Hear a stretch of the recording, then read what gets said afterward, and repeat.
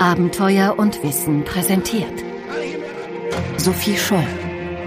Der Widerstand der Weißen Rose. Ein Feature von Sandra Pfitzner.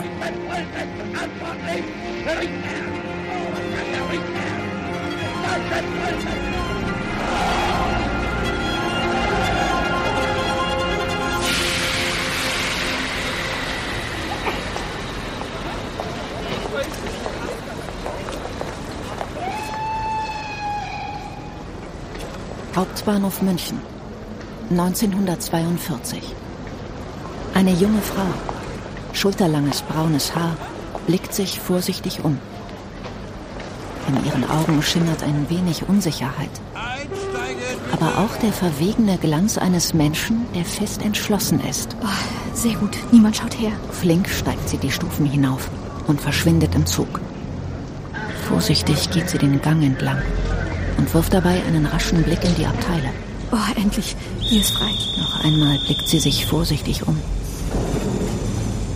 Dann schleicht sie hinein und platziert mit einer schnellen Bewegung ihren Rucksack auf einer der Ablagen.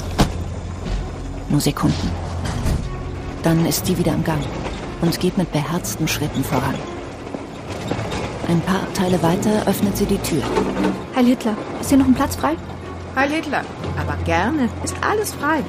Die junge Frau, die sich hier im Zugabteil auf einen der Sitze fallen lässt, ist 21 Jahre alt und heißt Sophie Scholl.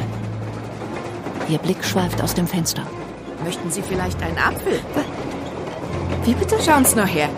Haben die nicht schöne rote Backen? Sind aus meinem Garten? Nein, danke. Das ist sehr nett, aber ich habe... Sophie nimmt ein Buch aus ihrer Manteltasche und versucht zu lesen. Ihre Augen fliegen über die Seite, aber keines der Wörter bleibt hängen. Sie ist zu angespannt.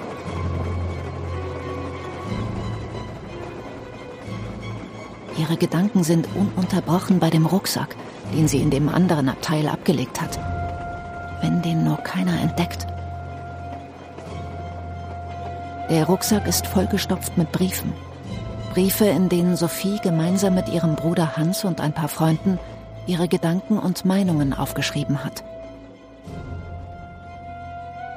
Wenn der Zug am Ziel angekommen ist, wird Sophie vorsichtig den Rucksack holen und die Briefe an wildfremde Menschen verschicken.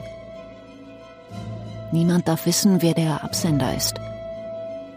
Seine Meinung zu sagen, das bedeutet in der Welt der 21-jährigen Lebensgefahr.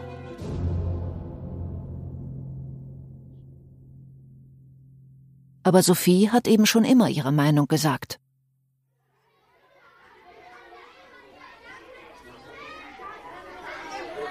Feuchtenberg am Kocher, 1928. Guten Morgen, Herr Lehrer. Guten Morgen. Sophie ist sieben Jahre alt. Seit einigen Monaten besucht sie die erste Klasse. Schule ist damals noch ganz anders als heute. Wer kann die Schulregeln aufsagen? Ah, ja? Anne?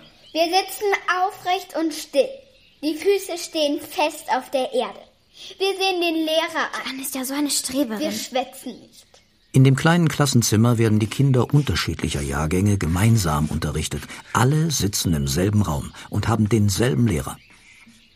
Deshalb sitzt auch Sophies Schwester Elisabeth, genannt Liesel, mit im Klassenzimmer. Sie ist ein Jahr älter als Sophie.